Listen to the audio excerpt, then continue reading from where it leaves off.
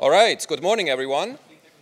My name is uh, Hans-Peter Pfister. I'm a professor in computer science and the director of the IACS, the Institute for Applied Computational Science in the School of Engineering and Applied Sciences here at Harvard.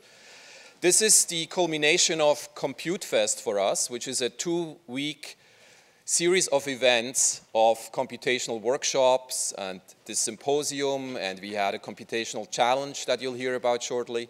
So it's actually a very exciting time for us just before the beginning of the semester. And this is our fifth annual IACS symposium that I'm very happy to welcome you to. Today's theme, as you know, is brain and machines, and I believe we have a fantastic program set up. Um, let me just uh, say very briefly that if you're interested in hearing about our events, in particular about Compute Fest and many similar events that we run throughout the year, please go to our website and sign up to our mailing list so you can stay informed. And if you want to join the conversation today on Twitter, please use this hashtag, just so that we can find all the tweets. So um, I believe without further ado, it's my great pleasure to now introduce the Dean of the School of Engineering and Applied Sciences, Frank Doyle.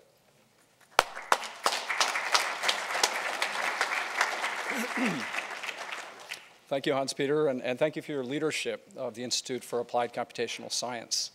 Um, as Hans-Peter mentioned, um, this is one of the most dynamic parts of our School of Engineering and Applied Science, SEAS for short.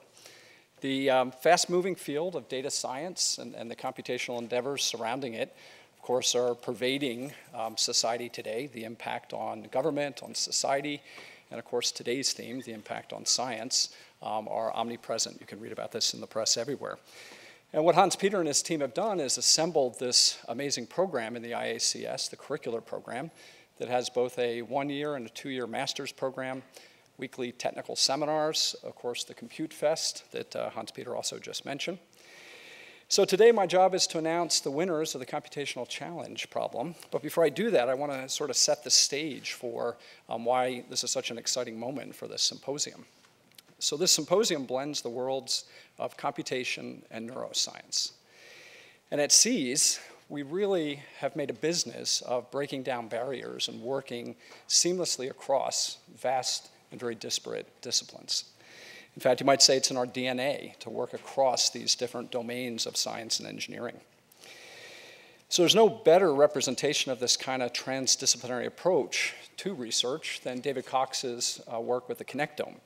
Um, David's an assistant professor in molecular and cellular biology here at Harvard and also a professor of um, computer science. Um, his collaborators and colleagues that he works with characterize this uh, vast um, interdisciplinary field.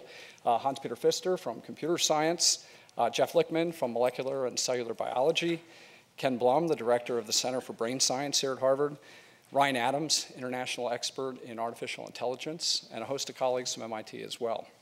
It's exactly that kind of ambitious, groundbreaking kind of collaboration that's necessary to tackle the kind of grand challenges that society is facing today. So, for the last several days, there have been a number of teams of students uh, braving the weather by working indoors here uh, on very uh, challenging uh, computational problems, namely the IACS Computational Challenge. This year's topic was using the Internet of Things for human flow analytics.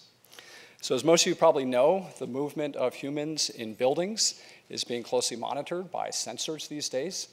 This has profound applications for things like climate control, for security, as well as for things like emergency evacuation.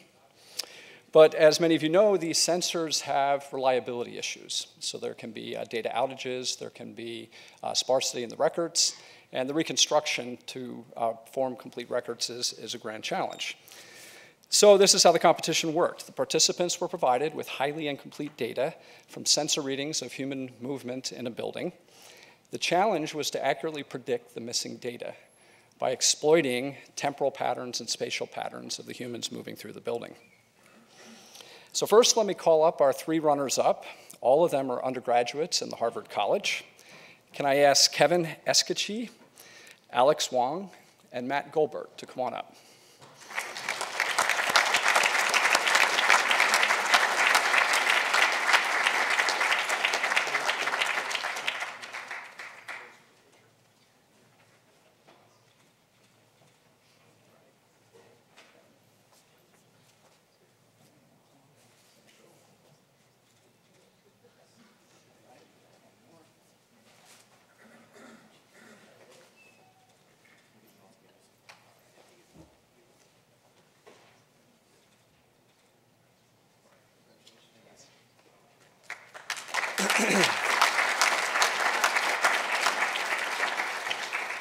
Okay, now we get to find out which team goes home with the Apple Watch on their wrist.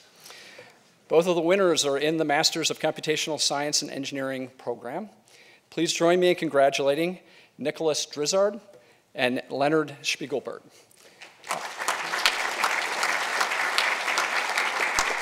Unfortunately, uh, Leonard's not here to attend the symposium, so I'll recognize Nicholas.